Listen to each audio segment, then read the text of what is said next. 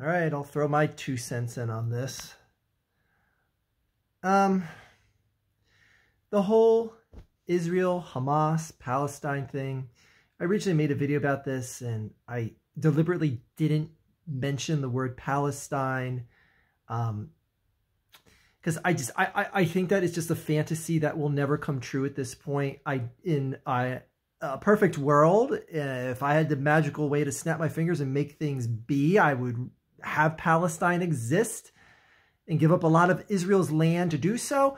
But I, I, I think that's just a pipe dream, a fairy tale, a, a, fairy tale as as rich as the Old Testament is. Oops, sorry, did I say that out loud? Anyway, um, what is going on right now and the support behind Israel? Now, I, I don't want to get lost in the message here of saying Israel's taken things way too far and they really need to step back. But did you see what Hamas did, Archfiend? Did you see that they killed children, babies, people at some music festival? They surrounded the place and started shooting and taking hostages. Who knows what's happening to those hostages? What if one of those hostages, hostages was your wife or your kids? What would you be saying then? I get that. I hear all that. But do you know what else I get and hear and see? Entire buildings being leveled in the Gaza Strip right now. Now, people are going to say, like, well, that's just retaliatory fire. If missiles start shooting off towards Israel, Israel is just firing back at whatever building that... The Gaza Strip is so densely populated that detonating bombs, shooting bombs, whatever, however you're getting the, the armaments there to bring down an entire building, you're killing so many innocent civilians. Oh, they all grew up to be terrorists, so shut up with that. Shut up with that. Bomb Iran next. Oh, shut up. If you seriously are going to tell me with a straight face that you think that the uh, people in the in the West Bank and the Gaza Strip they'll have hate for the Jews in their heart, and they're going to grow up to be terrorists that just want to kill Jews. The majority of people that live, like, let, let, let me just let me just cue you into something here, in case you don't know. The majority of people in a country like Iran, in Syria, in the West Bank, in the Gaza Strip, they just want to live their damn lives. Okay? They may not rally as much as we want them to to speak out against groups like Hamas or the Taliban and stuff like that. Because, you know, they just they just want to live their lives. The majority of people in America just want to live their lives. They don't care who's elected president. They just want to live their life. Hey, just don't don't don't mess with my life. Just let me raise a family. Let me, I don't know, work my job as a plumber just a, a, any of trivial things that we take for granted here in a place like America. And the whole thing is just one big shit sandwich that should have never been made by the restaurant to begin with. And that's what pisses me off more than anything else is that this is all a result of one of the most cataclysmically stupidest decisions in the history of the Western world. And yes, the Western world, sorry, I'm spitting like a fiend here. Archfiend. Anyway, the creation of Israel. Oh, Archer, you trying to say that, that uh, there shouldn't be a land for the chosen people? No, I'm not saying that. I'm just saying, uh, as they say in real estate, location, location, location. That is one of the most piss poor locations that you could have chosen on God's green earth on Allah's green earth. God, why? Why?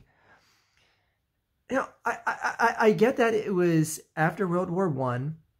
The colonizing power of that region is the it was the United Kingdom, and I, I, I, see a lot of dirt getting kicked England's way whenever it becomes the whole creation of Israel thing. It's like, oh, well, you know, they, England was the one that, that colonized that area and that said they promised, they promised to the Jews uh, a creation of the state of Israel.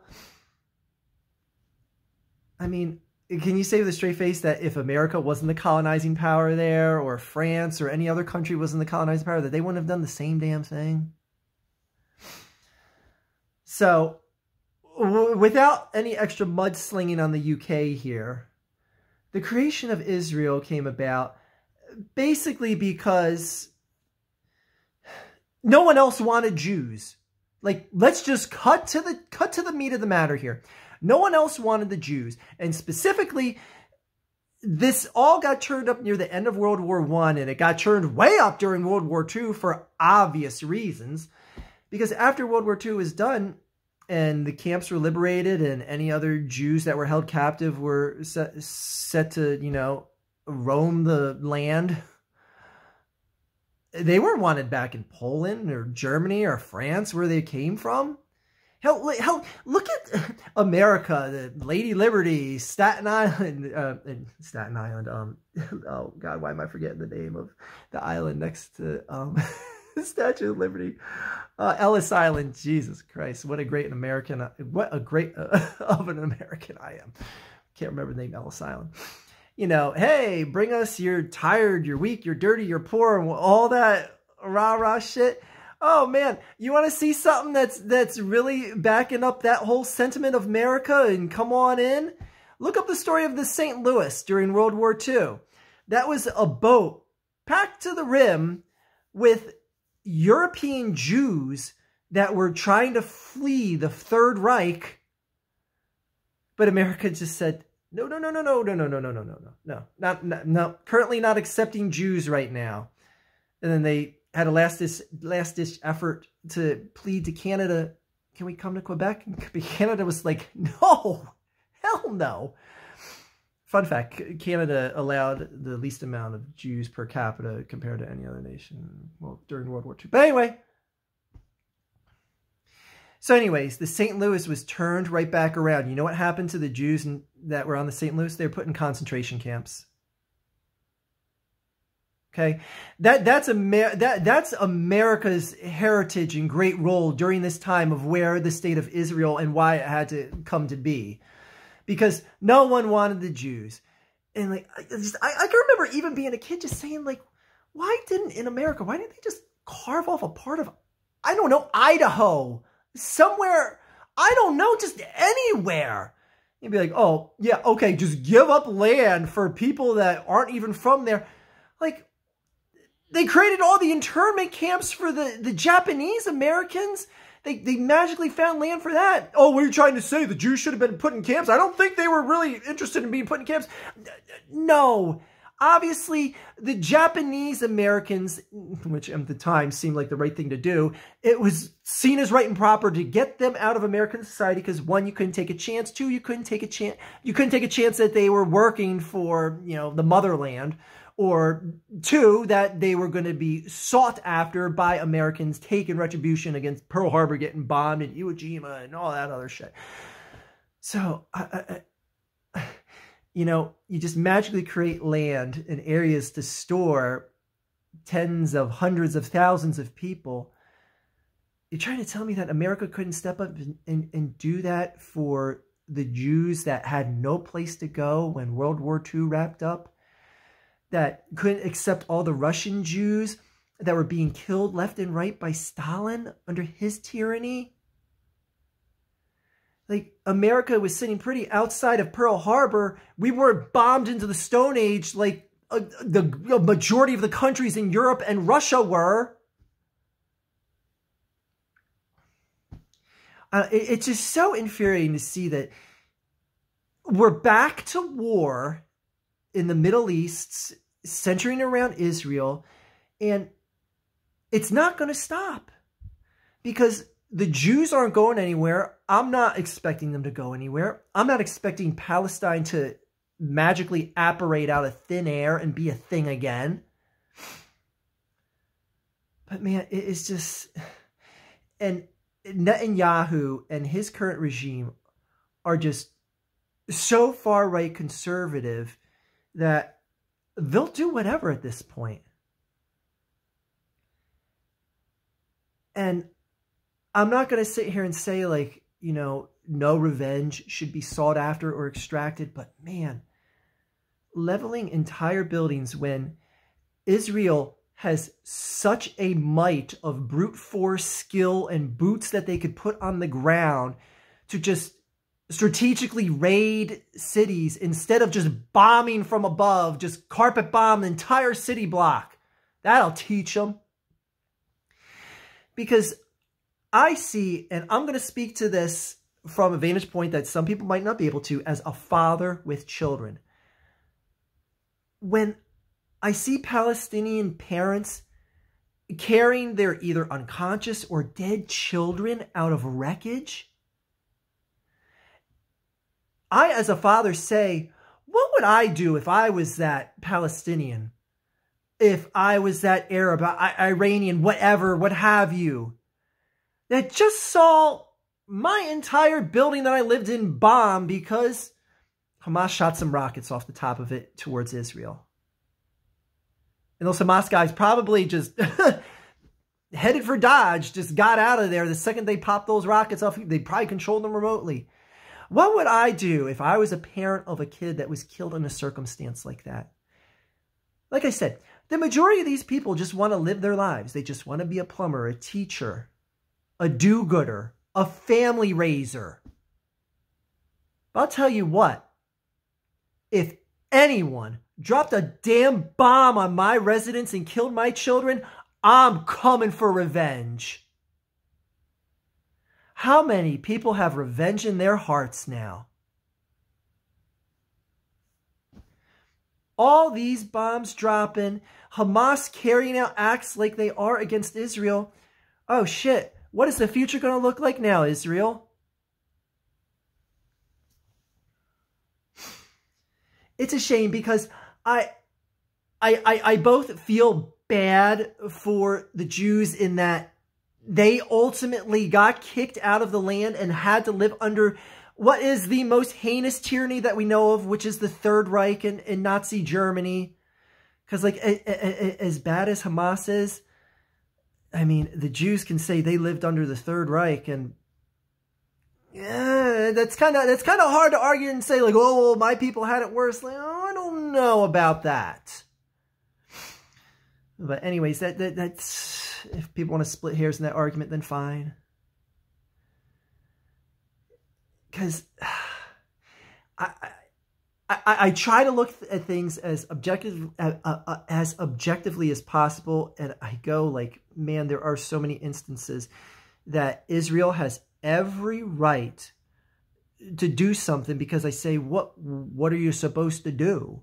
What are you supposed to do when every nation around you declares war and invades you, and then six days later, you quadruple the size of your land because you fought back and took the Sinai Peninsula, took the West Bank, took Gaza, took parts of Jordan within six days. I mean, Israel is so freaking powerful compared to its neighbors that have a problem with them that I, I, I as as the saying goes, in the comic book world, with great power comes great responsibility. And just carpet bombing and leveling entire buildings for what? Getting maybe a few Hamas operatives, but in the meantime, you killed a, a dozen plus women and children and fathers and just everyday Joe Schmo workers you cut off the food and water supply to the entire Gaza Strip right now. You have them surrounded. You, have their, their coast guarded so they can't get food or supplies into the Mediterranean Sea.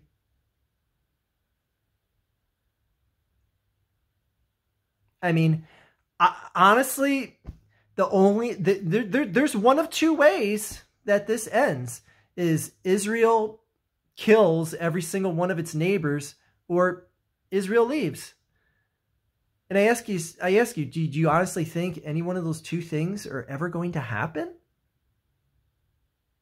I mean, even even if the the might of every Middle Eastern neighbor there got together and went after Israel, Israel would still kick its ass. And even if they were getting their ass kicked to the point that they had, you know, one last effort to pull out, they're going to drop nukes.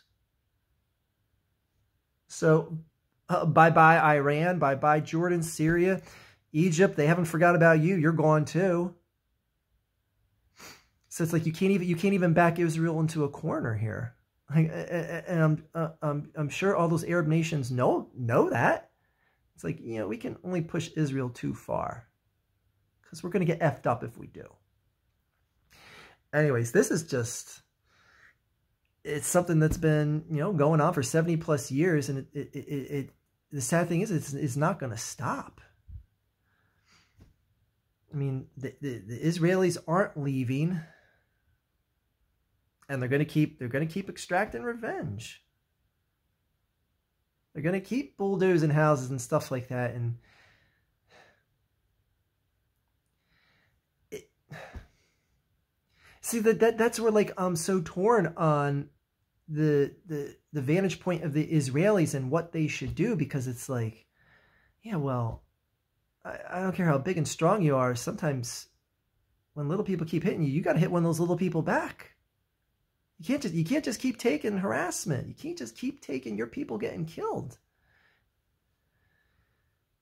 But then you have to say is like, well, how many more harassers are you breeding with your current efforts and way of life?